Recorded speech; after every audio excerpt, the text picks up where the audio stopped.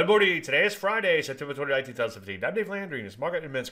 Well, piece started a little weak, but it did strong by the end of the day. It did set the world afire, but it did manage to close at all time highs. And you know me, as a trend guy, I'm not going to argue with that. Ideally, I like to see some acceleration higher. You know what I'm saying? Take things one day at a time. NASDAQ kind of flatsville on the day, but just shy of all time highs and hanging in there. I sure would like to see a breakout and not look back for a while. Take a look at the Rusty. Okay day there, too. Managed to close at all-time highs, so I'm certainly not going to argue with that. A little overbought it here, but so far, so good. Nice little breakout remains intact. A lot of areas looking pretty good in here. As you can see, semis not too far from all-time highs. Chemicals right at these brand new highs in here. I'm liking the energies. They took a bit of a breather yesterday, but there's a lot of energies at low levels that are just beginning to rally off of the lows. So I think I would look for opportunities there. In fact, I know I'll look for opportunities there.